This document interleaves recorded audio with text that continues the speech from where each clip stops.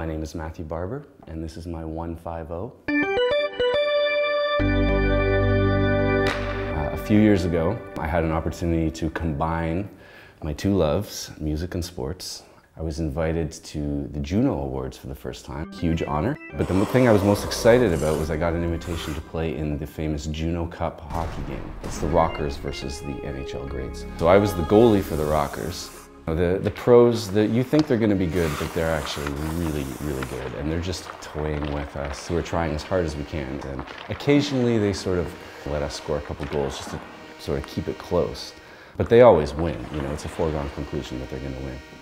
On this particular year, though, they let it get a little bit too close, and we actually tied the game up with one second to go on the clock. And so it was decided that it was going into sudden death shootouts. Well, the first guy who came in on me was Cliff Ronning. He was, he was basically still playing for the Canucks at the time. He came down and scored on me, so I thought, okay, well, this isn't gonna last long. Then the next guy who came down, I think, was Mark Napier from the uh, Stanley Cup winning Edmonton Oilers, and I stopped him.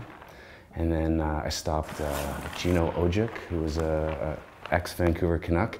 And we weren't scoring at the other end, and so it, it kind of kept going. And then eventually I had to face Lanny McDonald, the famous, you know, famous for his mustache, but also Hall of Fame, uh, Stanley Cup winning star of the Calgary Flames. So he was twirling around at center ice and, you know, kind of calling me out. Comes in on me to win the game, slams on the brakes, puts on a crazy deke. I'm in no man's land.